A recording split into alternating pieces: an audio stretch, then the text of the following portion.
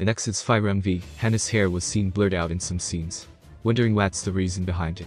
Keep on reading. On September 29, EXID made a full group comeback in celebration of the 10th anniversary of their debut. Their single album X was released on that day, together with the music video for the title song Fire.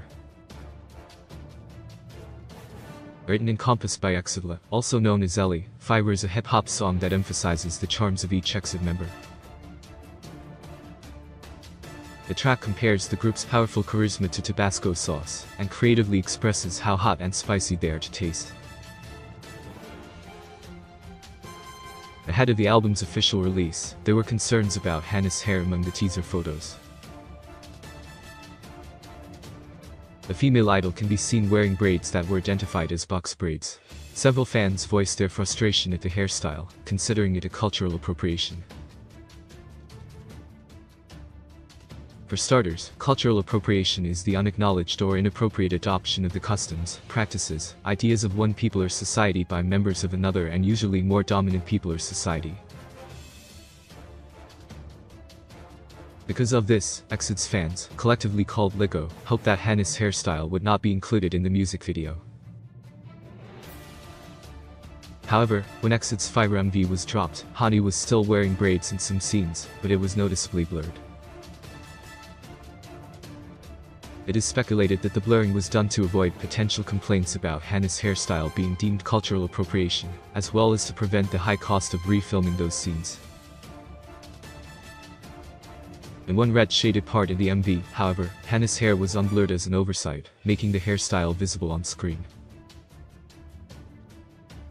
Still, the blurring of Hani's hair in EXID's Fire MV received various reactions. Some LEGGOs applauded the decision as it goes to show that their concerns were heard.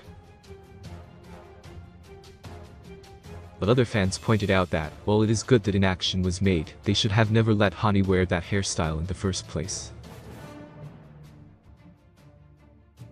There were also fans who said that they also could have just cut out any scene of Hani wearing the braids in the music video. Despite the issues surrounding EXID, their single album and its title track Fire are still both receiving love from fans across the globe. On September 29th, EXID's X debuted at number 6 on the worldwide iTunes album chart, and no. 37 on the European iTunes album chart. Fire also made it to the worldwide iTunes song chart, taking the no. 111th spot. X also impressively entered at number 11 on the US iTunes chart and went on to peak at no. 4 as of the 30th. In South Korea, EXID's Fire landed on the major daily domestic charts dated September 29.